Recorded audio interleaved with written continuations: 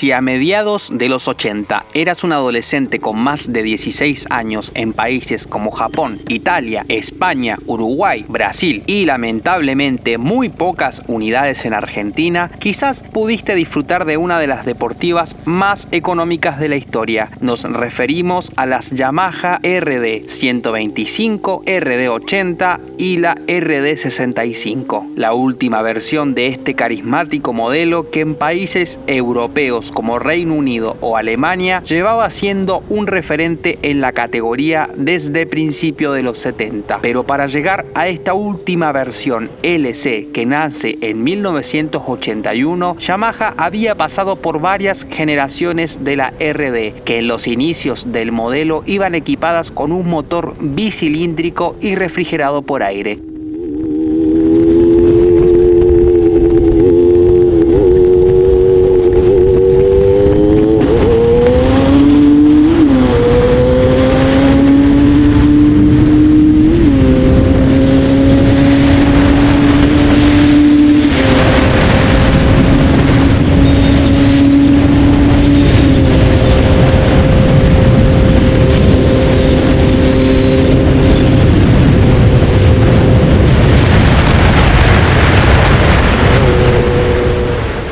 Ya que para esta última versión la marca nipona cambió el rumbo de la RD125. No es hasta 1985 cuando finalmente Yamaha decide sacar el máximo partido de la 125 en los países que no tenían leyes de restricción de potencia, con la incorporación de la válvula de escape denominada Yamaha Power Valve System, pasando de 17 caballos de potencia a 23 y consiguiendo unas prestaciones cercanas a los 140 km por hora. La Yamaha RD 125 con la válvula Power System llegaba justo antes de la presentación oficial en Europa de la que sería su reemplazante, la Yamaha TZR 125. Para esto los ingenieros nipones mantuvieron el monocilíndrico de dos tiempos refrigerado por agua de 123 centímetros cúbicos, con alimentación por medio de un carburador Mikuni de 26 milímetros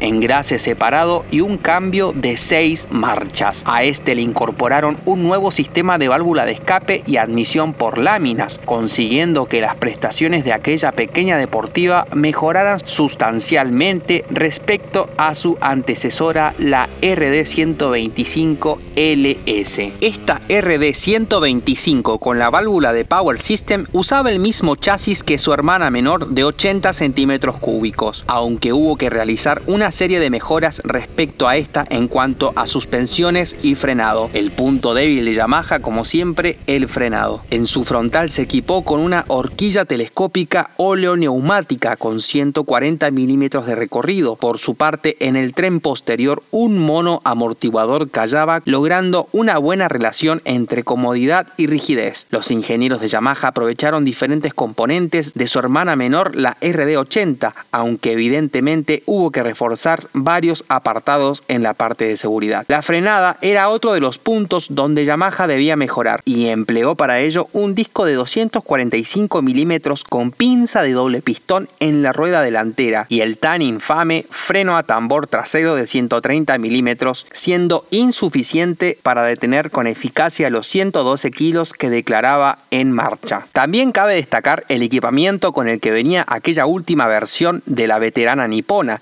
donde encontrábamos un caballete central, además de pata lateral, asiento desmontable, así como un completo cuadro de instrumentos con velocímetro, cuenta vueltas, indicador de temperatura, punto muerto, aceite y luz alta. El mismo tablero que después heredaría la Yamaha TZR 80 y 125 Delta Box.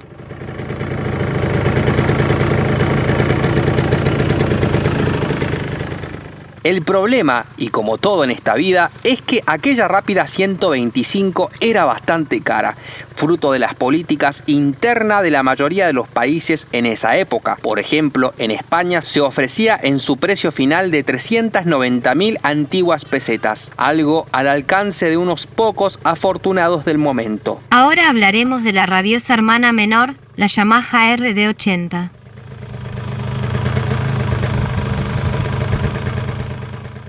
En 1985 nace la pesadilla de la marca Honda, la Yamaha RD80 de tamaño algo más grande que la Honda Hurricane, pero con las mismas especificaciones técnicas a las que no estábamos acostumbrados. La nueva RD80 con su pequeño motor dos tiempos refrigerado por agua y con una cilindrada de 72 centímetros cúbicos rendía una potencia de 12 caballos de fuerza a 9.500 revoluciones por minuto, una cifra verdaderamente alta para la época, pero su potencia se conseguía a base de llevar el motor entre 8.000 y 9.000 revoluciones. Disponía del sistema YEIS, un sistema de inducción de energía patentado por Yamaha. Su admisión tenía láminas y un pequeño carburador de 18 milímetros.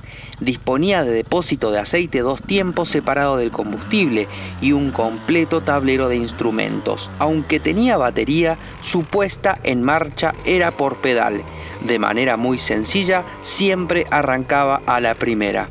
Sus ruedas de 18 pulgadas llevaban neumáticos bastante estrechos y bastante malos, por lo que era recomendable cambiarlos apenas se compraba la moto.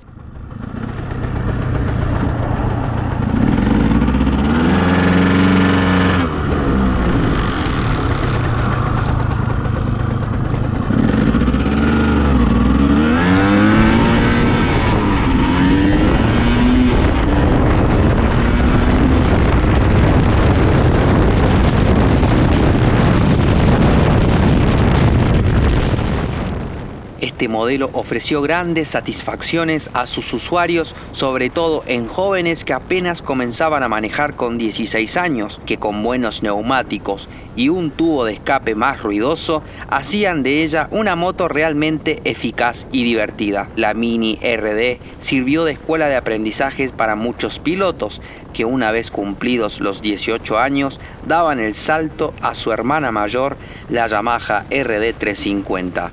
Ahora sí, te contaré sobre el bebé de la familia. Aunque no tuvo el mismo éxito que la RD125, la RD60 era una motocicleta muy popular en su época debido a su precio accesible y facilidad de mantenimiento.